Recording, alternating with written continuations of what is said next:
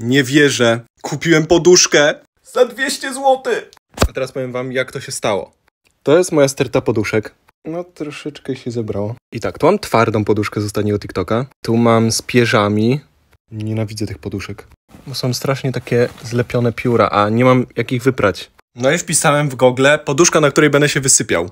I voilà, podobno jest tutaj. Otwieramy, mam tylko taki długopis, więc nie pytajcie. Ups.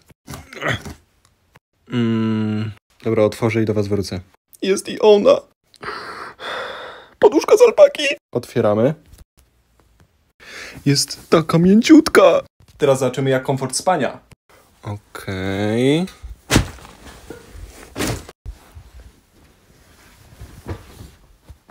No ciekawe, zobaczy,